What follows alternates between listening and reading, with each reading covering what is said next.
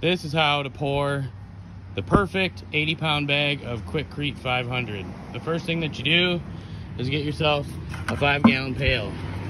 Now, you're gonna put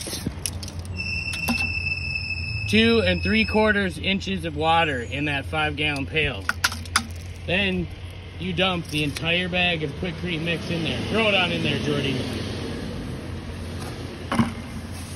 This will mix you a perfect 80 pound bag of Quikrete every time.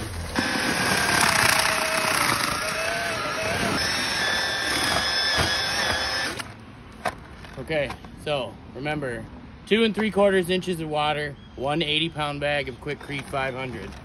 Perfect mix every time.